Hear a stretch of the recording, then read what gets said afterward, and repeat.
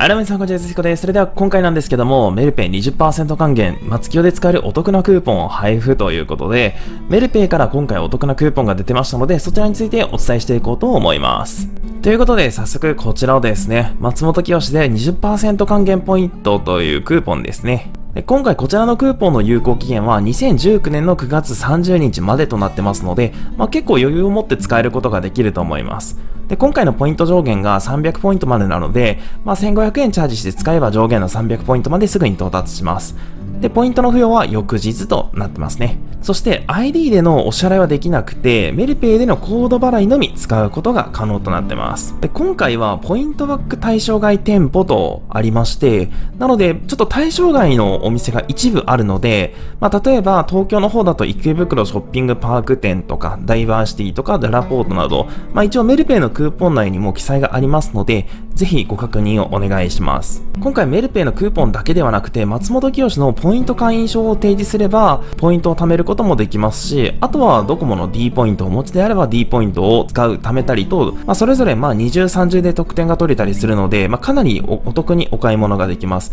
まあ、このポイントについては、下の概要欄に公式のリンクを貼っておきますので、ぜひそちらもチェックしてみてください。ちなみに現在松本清の場合は D 払いも使うことができるので、もしですね、D 払いを利用されている方がいましたら、そちらを優先してもいいと思います。まあ、今ですと20%還元のキャンペーン中ですので。なので、メルペイのポイントが余っていたり、残高が余っている方はメルペイ。D 払いで今月のお買い物をまとめているなら D 払いという感じでご自身に合った方法で利用してみてください。ということで、今回は松本清で使えるメルペイの20%クーポンの配布がされたということでお伝えをさせていただきました。今回の動画は以上です。ご視聴どうもありがとうございました。